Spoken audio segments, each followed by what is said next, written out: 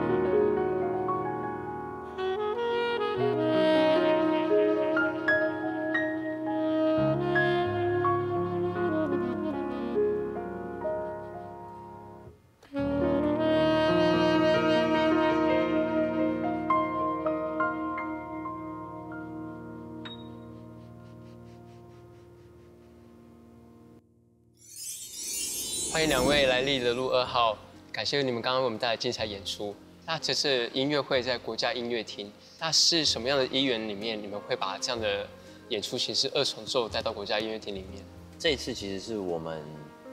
第二次用二重奏的方式去进到国家音乐厅演奏厅小厅。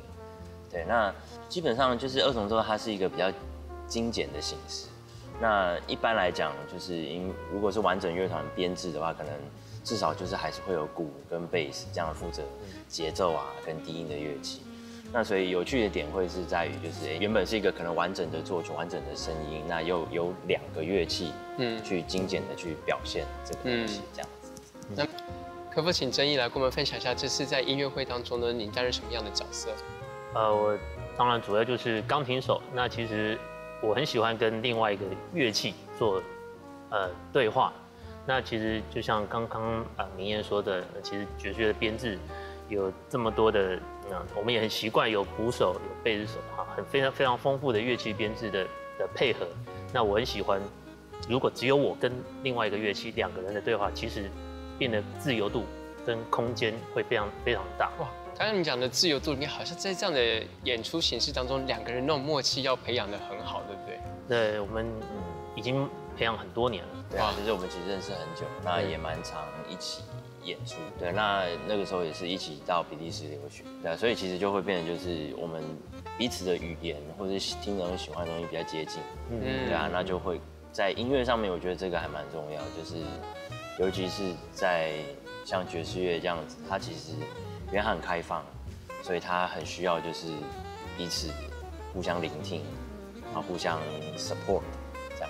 那像，因为其实，在我们台湾比较少有机会接触到爵士乐，那可两位可以跟我们分享一下，在我们进入到音乐厅欣赏两位的演出的时候，哎，我们要用什么样的角度或怎么样来去欣赏爵士音乐？嗯，其实相对来讲，音乐厅爵士乐比较少在像这样这么正式的音乐厅里面出现。对啊，那通常都会是在一些可能酒吧，那也开始有一些比较大型的音乐节。譬如台中爵士音乐节，还跟台北爵士音乐节，那这种音乐节就是会是在户外，那整个气氛感觉都会不一样。音乐厅里面是其实感觉是比较静一点，对，拘谨一点，就大家就是要坐在那边，然后哦，就是哦曲子完拍手之类的这样子。希望希望大家是很很 chill。open mind 这样去对啊对啊来来对啊放松，去看我们那怎么展现对，我们在演出的时候可能也会跟观众就是多讲讲话。互动。嗯对啊，对啊。那明艳可不可以跟我们稍稍卖关子，就是说，哎，这次你们两位音乐会的什么特点是观众们哇必须得来欣赏你们这次的音乐会？嗯，我觉得就是我们两个的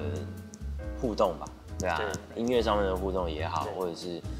嗯讲话上面的互动，对。就是有时候因为有时候不是曲目的问题，而是你怎么演奏的问题，Right，对啊。那对于一个很好很好的音乐家，或是合作非常非常有默契的音乐组合，他们不管演什么东西都可以好听，嗯，对啊，那我希望就是因为曾毅是这我在台湾，应该不是在台湾，就是这这辈子大概合作过最长久的一个钢琴家。嗯，那那我很喜欢他的演奏，那他怎么讲？就是我我们希望能够把这样两个人的声音、两个人的互动，可以就是再拉高到一个更高的层次。这样子。嗯，刚刚明英有提到说，就是你们有在比利时求学过，哎，那在这次的音乐会当中，你们有安排到有古典音乐、有爵士音乐，还有一些你们自己的自创曲子。对哎，在这样的音乐会的当中，你们想要带给听众朋友们什么样的感受？希望是比较多元一点啊，因为大部分大家都呃，如果认识我们都知道哦，我们是爵士乐手，但其实我们试图想要带给呃听众不一样的感受，不是只局限在爵士乐好那的一些刻板印象，其实我们希望是能够用以我们自己擅长的爵士乐演奏的手法去诠释更多不一样的曲目，就像呃有古典的，也有一些比较偏大家耳熟能详的，现在暂时不能暂时先不用先 没有对对没有讲那么多，对，但是就是说，其实这个音乐会的重点是在于就是两个音乐家的，单纯就是两个音乐家的互动。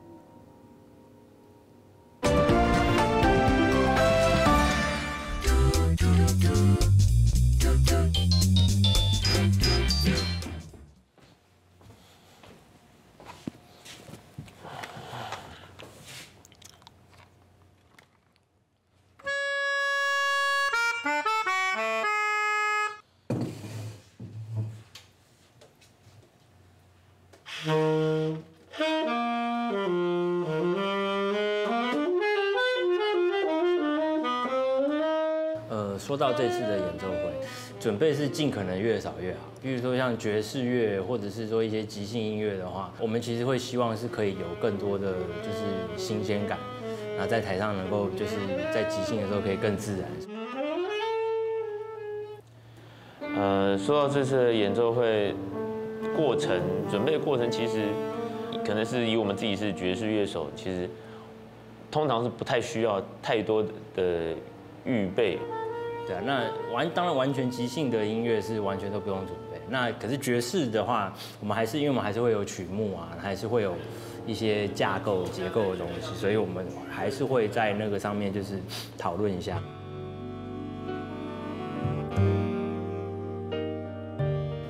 呃，练习部分可以分两个，一个是自己的准备嘛，那一个是就是在练团的时候跟跟乐手一起就是讨论，然后或是 run 这个音乐，看我们想要用什么方式呈现它。我们尽可能就是保留一些空间啊，就是即兴的部分大概先试一下啊，但是不会太多琢磨在即兴的部分要怎么样去设计，因为有时候预备的太周全，又少了一些感觉。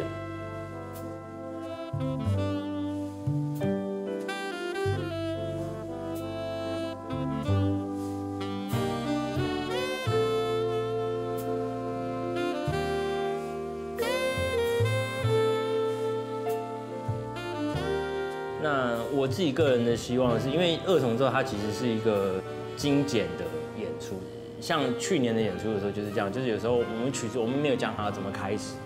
那我们也没有讲好怎么结束，所以有时候可能一个曲子结束了之后，就是我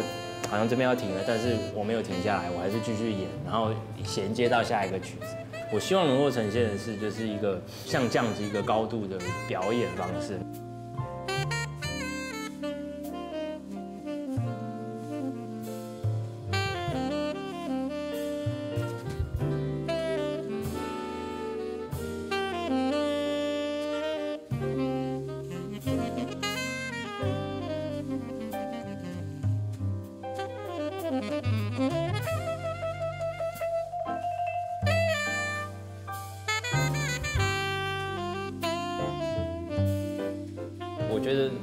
默契这个东西其实蛮难去讲的，也许就是因为我们比较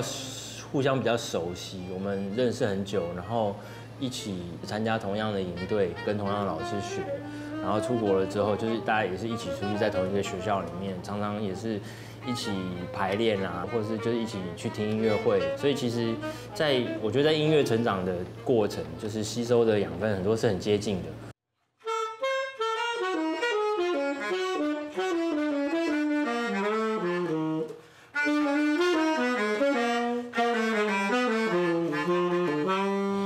性呢，呃，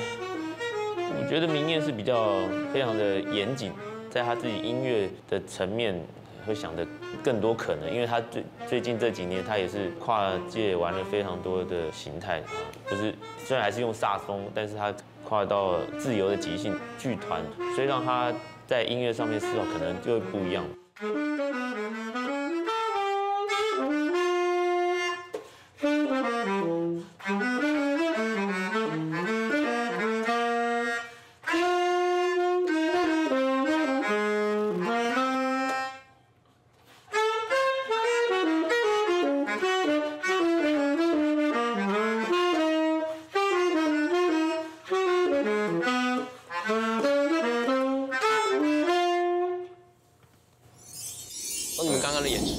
到你们两种，就是两种不同的乐器，然后在时间上的配合，就看得出来这种音乐是可以带着我们穿梭在你们的整个对音乐的诠释上面的一种自由的一种感受，这样。对啊，其实音乐是很自由的一件事情。嗯嗯嗯。那刚刚正义跟明艳有跟我们分享到说，关于爵士音乐，它是比较需要两个人就是去玩啊这种东西。那这样的所谓的即兴这个状态的养成，该怎么？这养成非常非常花时间啊。那这就是为什么我们要出国啊学习呃爵士音乐啊如何即兴。那当然这个能够这么自然的。表现出来，其实真的也透过很多学习，然后学习到呃基础的一些呃音乐相关知识，和声啊、音阶很多很多，内化以后然后经过很多的的经验，演出的经验，慢慢就是淬炼，就是变成是自己的一个风格这样。嗯，那明艳呢？你觉得之于即兴是什么？对啊，因为其实像跟刚刚曾经讲一样，其实你可以这样讲，即兴它是一个现场即席的创作。那就一个创作者来讲，你你的你能够熟用的元素越多，掌控的元素越多，你能够创作出来的东西就有越多可能性。对，那其实学爵士乐其实蛮大一个部分是在养成这些，就是就是这些基本的元素，你要熟悉这些音乐基础的东西。那养成了之后，爵士乐会变成是一个很好的跳板。就对音，我觉得对音乐家来讲，就是因为它就是这么的广纳百川这样子，所以其实你如果在爵士乐里面，你能够就是有一定的程度，你有累积相当的东西。你再去接触各种其他不同的类型的音乐，都会很有帮助。我以前我在练呃太极导引的时候，我们的老师是熊卫老师，嗯，然后那时候老师就教我一个非常重要，叫做先依规矩再偷规矩，嗯，好像就是这样，就是你在打太久，好像也要先把一些。功率既然都练好，可是当你真的熟熟悉到一定的程度之后，其实那个身体的自由度，其实就像音乐一样，对，必须得好像就像我们讲一般大家认为的基本功，嗯，一定得先扎好了你的手指尖啊，跟音乐的之间的乐器的掌握熟悉度。可是之后创造出来的所谓那种即兴的时候，是真正的你跟好像跟乐器的双人舞一样，它是一种很妙不可言的。对啊，它其实就是一种记忆嘛。那记忆的养成就是，我说记忆是技术的那个，嗯，对啊，所以它的养成就是你必须要先熟悉那个，也许那个器材那些东西，嗯，把它变成几乎是你身体的一部分，嗯，然后再学会就是练习，可能在各种不同的场合怎么样使用，然后最后就是自由的发挥这样子。刚刚两位有提说你们都有去比利时有学过，嗯嗯。那明天可以跟我们分享一下，就是国外老师在教导所谓这种自由的时候，如何教自由？这有点很难教诶。对啊，其实我的老师，呃，我主要的老师他其实他是一个美国人，那他待在住在欧洲蛮久，那他就是一个很有智慧的老先生这样子，可以这样讲。对啊，那他他其实就常常点醒我，像我刚刚讲的这些东西，你想要飞之前，你必须要先会跑。嗯，对啊，你想要做什么什么什么事情之前，你必须要先把基本的东西弄好。那你想要成为，就是可能做音乐、做艺术，大家都很想要变成就是很原创、original，很找寻自我这样子。可是如果你连这个这个领域的基本的语言、基本的一些东西你都不会，你怎么在里面讲出你真的是属于自己的声音？如果你要想 original 的话，其实每一个人都是，你躺在家里不动，你也可以很 original，对啊。可是问题是，对啊，你演奏出来的东西，你吹出来的东西，你就必须要有那样子的 quality，人家才会觉得那是好的作品。对，那跟你是不是原创是其实没有太大的关系。嗯，对啊，所以你必须就是要先让你把你自己 push 到那个地方，嗯，再去想那些其他的东西。嗯，那有时候那些东西其实也会在你这种不断累积的过程之中，其实你慢慢慢慢一点一点会。长出来，嗯，对啊。那正义呢？有没有什么好玩的那种老师或者教法，让你到今天你回来台湾之后，说哇，就是要以那种爵士乐当为一辈子的职业？呃，我的老师啊，比起他的老师可能比较严谨一点。对，那但是我我我们有很多课程，那其中一课程印象最深刻就是，就是老师也是，就我们选那堂课有各式各样的乐器，有不同的乐手，然后有有铁琴。有小提琴，有鼓手，有啊，我是钢琴，那萨克斯风、管乐的，那其实大家都不认识。那第一堂课老师就说，那我们就来来玩一些东西吧。然后后来开始大家就呃越越玩越有趣，但不是每次都这么有趣，因为大家还是很很很陌生，就对这个音乐，因为没有预期得到，呃别人会做什么，有时候想的太多了。那其实老师就是要我们去一直去，呃勇敢的去。尝试一些新的东西，那我就是勇敢去尝试这个这个概念，就是一直影响我到现在去不断去创新，去想一些新的声响。不管是我已经学好的一些既定的一些呃大家都知道和声，但我试着去做一些不同的声音在上面。嗯，但是其实不管是之于音乐也好，体操或是我觉得也许作家，嗯，都可能会在一个重复练习状态中，可能都会有一个所谓的撞墙期。嗯，你们有这种经验过吗？就是一直在做一件事情，可是你知道，哎，之后就不知道怎么办，或者怎么去克服或面对自己会啊，会啊对啊就当然是就是练了很久，然后一直觉得好像没有到自己要的那个那个那个声音，就觉得越练越越越苦恼那样，觉得好像而且反而没有好的效果。嗯，有时候会这样。对啊，有时候可能会发现，也许啊，就是那个那个应该讲会这样有那样的情形发生，有几个原因，可能一个是，也许你没有掌握到一些诀窍，那也许其实有时候是你其实根本不适合这个方向、这个风格、嗯这种这样子的 style，对对啊，那那对啊，就是在求学的期间，其实到现在其实还是偶尔会发生这样子的情形。那我觉得其实一个蛮怎么讲，就是可以解决这个东西的一个很好的方式是，其实有点像是你把就是你现在手上的东西放下来，嗯，那也许你可以从不同的领域，同样是也许是文化艺文的领域也好，或者甚至是生活去做一些事情，嗯，对啊，也许都会让你会有一些不同的想法。对啊，那就是不要轻言放弃，应该这样我们是有时候是听太多了，然后常常被很多哇那个风格也吸引，然后那一想要要朝那边去试试看，然后然后到一半了又听到某些新的东西，啊都都会变得是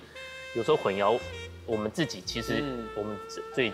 最重要最珍贵的那个自己属于自己的声音。对啊，其实就是说，有时候我们在在那个学，我觉得是那个过程了，就你很想要演奏出或者或者是成为什么样子，你会很试着就是很努力往那个方向走。可是其实那个不是很自然的一件事情，嗯就是像刚刚珍妮讲，我们也会哦，因为喜欢今天喜欢谁，所以往这边；因为今天喜欢谁，又往那边去走。嗯嗯。对啊，可是其实，在大家都知道，在历史上真的这些，就是真的是能够成为大师的这些人，他们其实很多时候是没有疑问，嗯，他们觉得这个东西就是很本能，他们就是要这样做，他们就这样演奏，他们就写这样的曲子。嗯。对啊，那也许你问他们，也许他们讲不出来，他们不知道怎么，他们不知道怎么讲，就是没有那种就是啊这个也好，那个也好，那样也好的那种价值观，他们就是很坚持做他们想觉得想要做、喜欢做的事情，那一直磨，一直磨，一直磨，一直磨，就会有东西出来这样。嗯，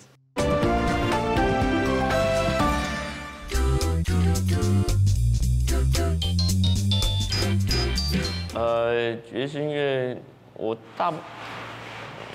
就诸如这样子哈，就是很多不能预期到的。那听爵士音乐，其实我喜欢的就是不是能预期到的。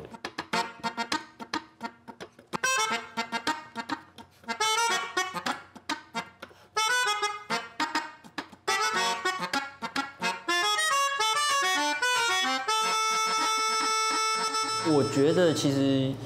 爵士乐它很有趣，它是一个非常 universal，就是其实很共通的语言。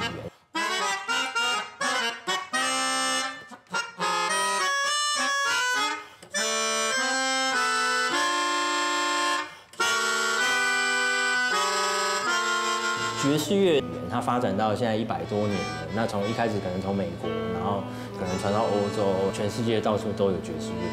那但是同样的一个爵士乐，它它其实是非常在在世界各地每个地方，它其实是都有不同面貌的存在。即便我们没有很刻意的去在，也许譬如说创作的时候去使用当地的人，就是因为我们是从这个土地，在这个空间，在这个城市成长长大的，所以其实多多少少都还是会受到你来自的地方的那个东西的影响。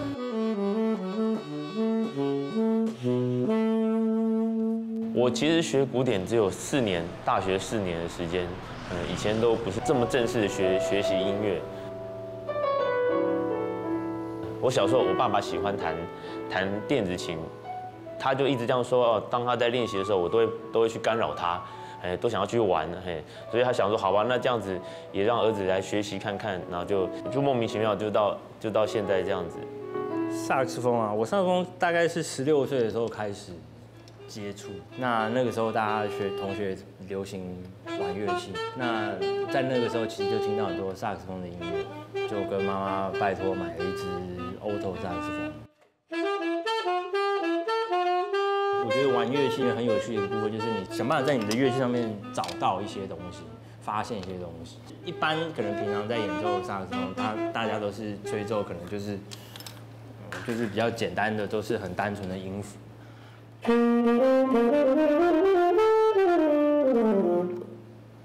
像这样子，对啊，那可是其实你可以用这个乐器发出蛮多特别的声音，譬如说。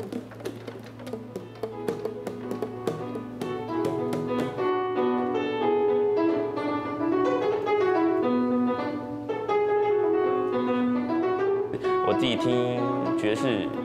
都会去寻找新的声音，嗯，或听哦我喜欢的音乐家他们在做什么新的声音，做什么尝试。这个大概就是我生活怎么讲最最有趣的地方，因为现在开始就是有两个小孩，然后就是非常的稳定，有一半是音乐家，一半就是照顾孩子们。那所以爵士音乐反而现在变变得就是我非常重要的一个陪伴。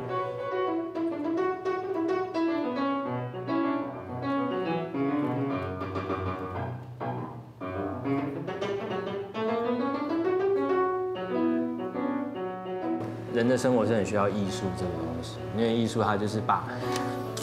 很多这些日常生活的小细节，你可能习以为常简单的东西，它把它放大，然后再把它做的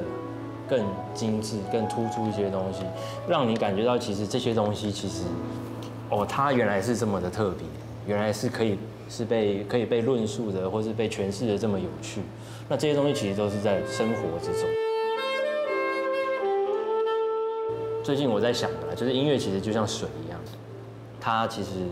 对于所有的生命来讲都是需要的东西。那可是它又是可以是各式各样的形态，譬如说可能装在不同的容器里面，或者它存在在身体啊，在各个地方不同的不同的就是场域里面。那但是水这个东西，它就是无所不在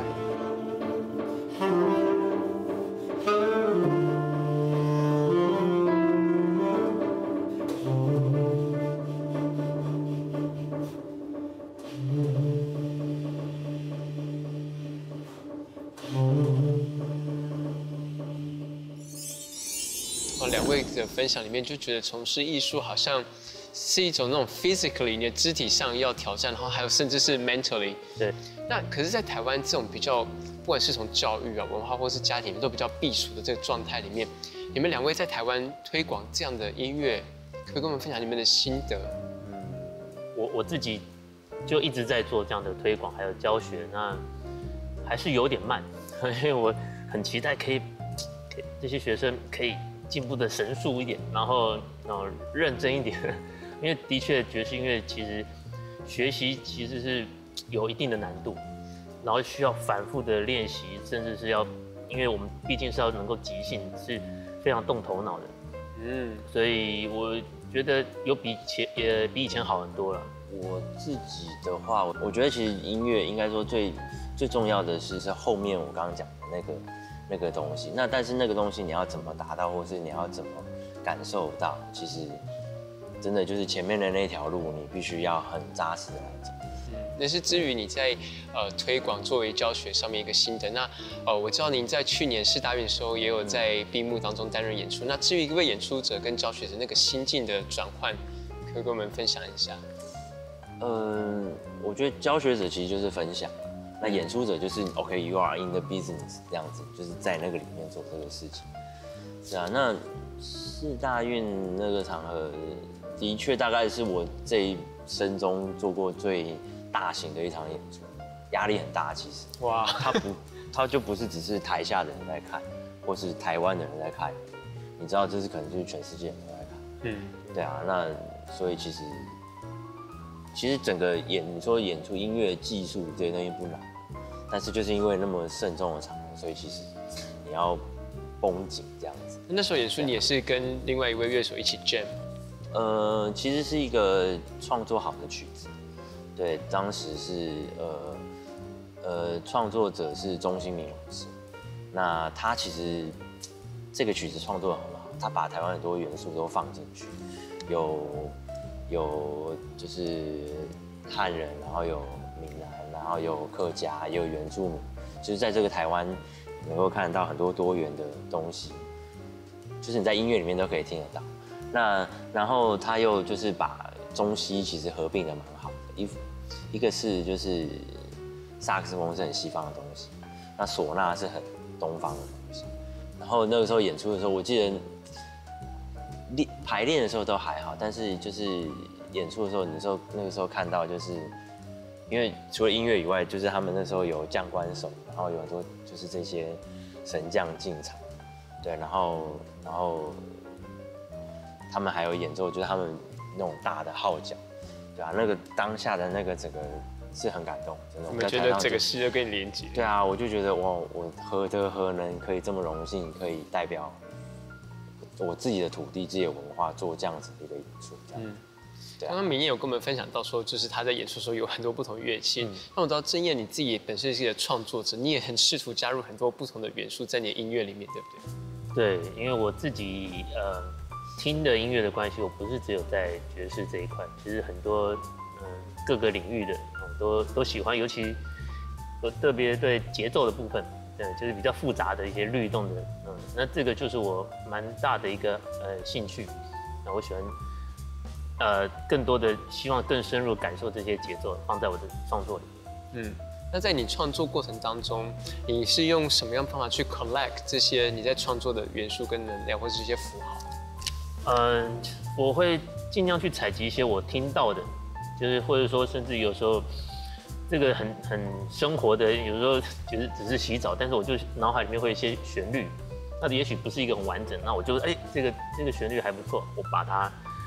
记录下来，可能用录音，可能或者写下来，然后我就拼凑变成嗯不知道会什么样子，但是也或者持续发展，那就就变成是一首作品。嗯对，简单来说是这样，但其实花蛮多时间的。嗯，你从生活里面开始去找到这样的一些元素。对，因为现在生活也越来越繁忙，啊、因为就是照顾家庭，然后呃，其实接触到乐器的时间上面是比较琐碎的，但我但是其实我脑海里面脑海里面一直都有一些一些旋律，嗯，嗯跑来跑去的，嗯，那我就是刚好捕捕捉到那那那个动机，把它写下来。音乐家就是这样，就是你听到音乐，你其实有时候你不是很享受。嗯怎么说？有时候就是因为你会想说啊，这是这是什么？他们在干嘛？他们在做什么？对啊，你不是只是单纯的享受哦它的氛围啊什么。对啊，所以其实即便有时候我们手没有在碰乐器，可是我们听到很多声音，听到很多音乐，我们脑袋会一直转，就是会有音乐很多很多音乐的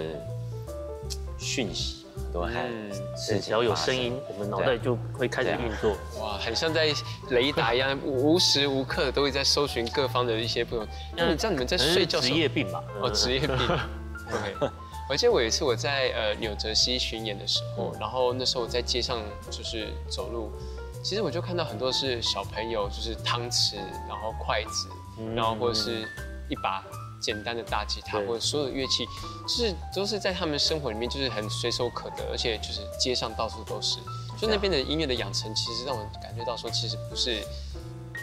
不是有距离的，而是你无时无刻，就像你们刚刚讲，是生活中我可以都听到这样的声音，不管是生活上，当然那边纽泽西的人人来来往往，我觉得也造就了在纽泽西这个都市里面非常重要的一个音乐的能量。我觉得，对啊，其实音乐就是应该不讲音乐，艺术，艺术这个它其实就是生活的某一个，也许某一个细节、某一个片段的放大或是精致化。嗯，对啊，那所以其实所有你不管讲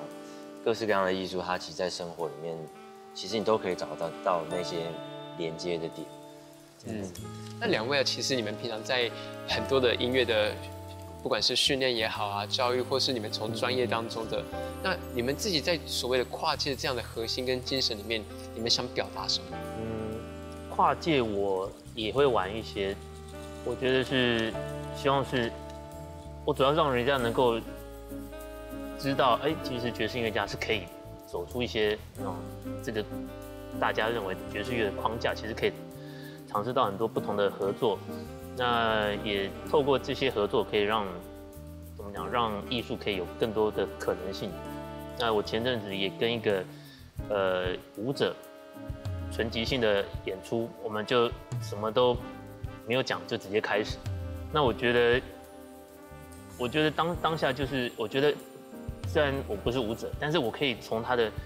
呃他的一些舞蹈、一些动作，我可以找到一些我可以试着去啊去 support 他的。那他也可以从我弹的东西里面，他可以找到适当的啊用他最擅长肢体的展现来来帮助我啊，让我们两个只有我们两个也是二重奏的一个的一个可以达到一个契合的感觉。我觉得蛮蛮有趣的，我还是还现在还是在呃尝试当中。那下次有没有机会换是舞者弹钢琴，然后你来用你的身体去呈现的？呃，我们那天已经这样做呈现。哇，超酷的！对，就是他已经跳到不知道怎么了，就跑来跟我抢我的键盘，呃，抢我的钢琴。那我就好，我们就开始有一些，其实已经试着把自己，然后变得融入在那个是因为大家都在看着，而不是只是我就坐在那边弹，而是我是希望人能够有跟他有一些互动，所以我我也当时也本能的有一些呃肢体上的的一些对跟他有一些接触啊，或者有些那种很好玩的一些互动。嗯嗯嗯嗯，超酷的。嗯，那明艳呢？觉得啊，我觉得跨界有时候大家会觉得好像是什么东西加什么加什么，然后呈现出来一些特别的效果，好像是新的东西那样。可是我其实反而不这么看，我反而觉得它是有点是回归到像我们刚刚前面讲到的生活。其实这些所有的东西，它其实都是同时存在在我们就是生活的某一个片段或者某一个空间里、某个领域里面，有点像数值，你可以看，就是譬如说不同的音乐风格也好了，对啊，也许 OK 有爵士乐，有也许嘻哈有古典音乐有什么，但是有很多元素是共通的，或者他们可能背后，他们可能之前都是从某一个类型的音乐演变而来的，所以他们有一个共同的脉络。对啊，那我觉得其实我相信，其实其他的艺术类型也是一样，戏剧或者是诗、小说、文学这些东西，他们其实就是或者是舞蹈啊这些东西，你其实就是当你把它这些就是在做跨界这个事情，把很多这些东西放在一起的时候，你感受到的那个交集的东西，有我觉得其实它是应该是你要往回过来推，是分叉的那个之前的那个地方，而不是在某个地方结合那种感觉。对啊，那我们只是在做那些跨界的过程的时候，其实只是在尝试要回到我们原本的样子，那种感觉。那两位刚刚已经跟我们分享到这么多精彩，你们对于音乐在生活中的一些哲学，以及你们对音乐的信仰。那你们接下来，你们可不可以跟我们分享一下你们至于音乐在台湾未来的希望？你们希望音乐能够在台湾里面能够培养出什么样的大树？嗯，我我我只希望，呃，音乐能够普及啊，不要没有区分。即使我们现在是做爵士音乐，其实希望大家能够更更多去认识啊，嗯，除了现在主流的，其实很多音乐家、艺术家一直在努力耕耘啊自己擅长的那个区块，然后也，然后我希望可以大家可以更多的去去去探索或者去好奇一下那些，哦，或像我们这样的音乐家在正在做什么事情。我觉得在艺术范围里面，尤其是音乐这个东西，它其实，因为它就是声音，对啊，那它其实它其实距离我们是非常非常近。我觉得有时候比可能比文学啊、比戏剧、比这些东西，其实是距离要再更近。那只是我们好像不太习惯用音、用声音、用音乐这个东西，或者注意它是是怎么用这个东西沟通。所以，对啊，我希望就是透过音乐的推广，不管是爵士乐也好，或是其他的音乐，那人们可以重拾对于声音的这些想象跟喜爱。那我觉得其实一旦这个东西提升了，其实会有很多的问题，就是我们遇到的各式各样的问题，你会比较知道应该要怎么去做，怎么去面对。嗯因为其实普遍来讲，我们在台湾，大家很难去能够喜欢表达出自己的感受。那我觉得，也许在音乐的这个，像你们刚刚讲，在音乐的分享里面找到自由之后，就像这种困在笼中里面的鸟，有时候可能刚看到口，会不知道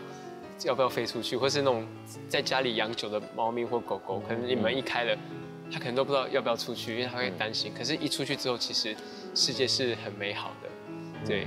对啊。所以我觉得哇，这样的演出跟不管是演出也好，或者是至于音乐教育也好，希望未来音乐能够在台湾能够去软化，或者说。带出大家各对于对美的一些的感受，对吧？今天谢谢明夜以及正义来为来我们立的路二号，谢谢谢谢你们，谢谢谢谢谢谢，Thank you，谢谢谢谢。